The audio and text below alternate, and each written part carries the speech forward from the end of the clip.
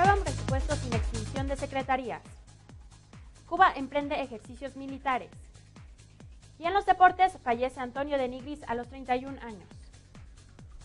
Hola, ¿qué tal? Bienvenidos a este espacio informativo de Ovaciones TV. Yo soy Karen Guerrero. Quédese con nosotros para que así esté bien informado de todas las notas más relevantes a nivel nacional como internacional. Diputados aprueban un presupuesto por 3 billones de pesos para el año 2010. La información con nuestro compañero Cristian Márquez.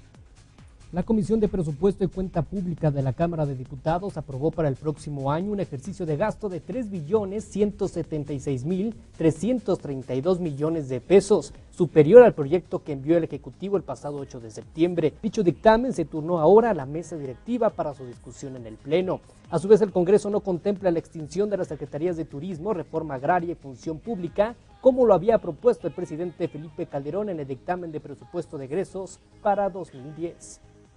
México califica de lamentable las decisiones de Canadá y pide eliminar visas. Vamos con la información. El Congreso de México pidió al Parlamento de Canadá iniciar a la brevedad posible acciones para eliminar el requisito de visados a mexicanos.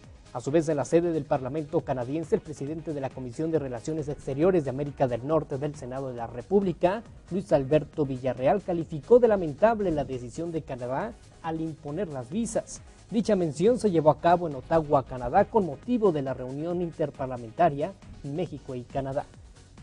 Vamos a un corte y regresamos con más información.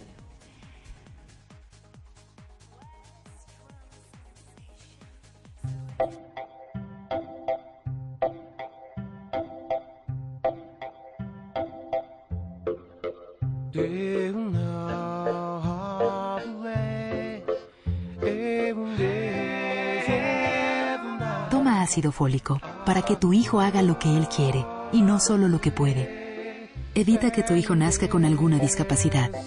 No esperes a estar embarazada. Toma lo mejor de la vida. Toma ácido fólico.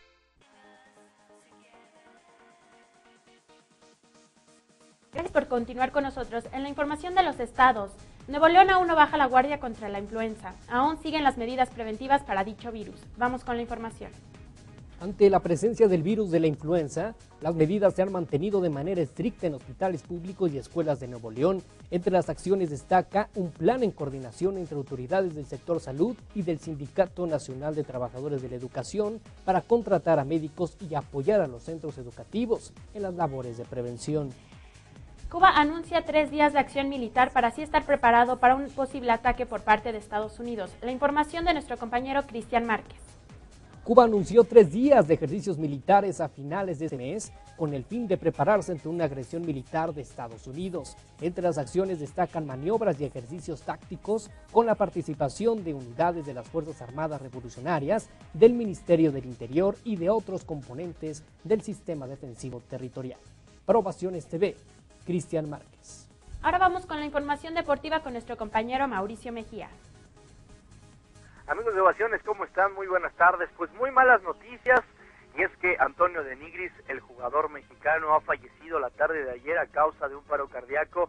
Él se encontraba en Grecia, donde actualmente militaba en la Liga de Grecia. Y desgraciadamente la muerte ha llegado. Él, un joven jugador, 31 años de edad, pero con una gran carrera futbolística, había iniciado aquí en México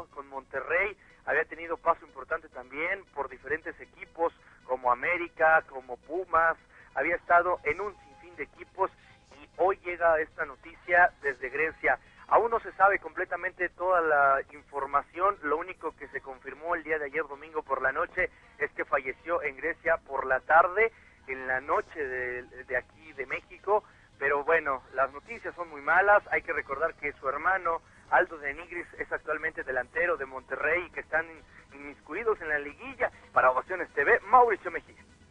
Bueno, es lamentable lo sucedido con dicho futbolista. Muchísimas gracias Mauricio por tu información. Ahora vamos con la información financiera. El dólar se encuentra a la compra en 12.84 y a la venta en 13.24. Muchísimas gracias por acompañarnos. Esa ha sido toda la información por el día de hoy. Yo soy Karen Guerrero. A nombre de todo el equipo de profesionales que participa en esta emisión, que tenga un excelente día. Les recuerdo la página de Ovaciones es www.ovaciones.com y nuestro correo electrónico es ovacionestv.ovaciones.com. Gracias y hasta luego.